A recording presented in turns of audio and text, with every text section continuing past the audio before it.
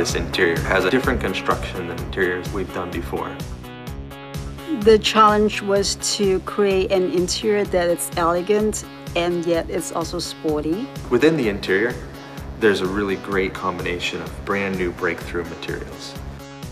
Working with Mona in the color studio, we have this great three color palette. The combination of these three is very unique.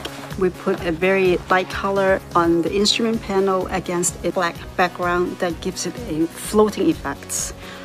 One of my favorite things about this interior is the feeling you get when you sit behind the steering wheel. It's such a contrast of the warm pads and the cool technology. It's unlike anything else on the road. Toyota, let's go places.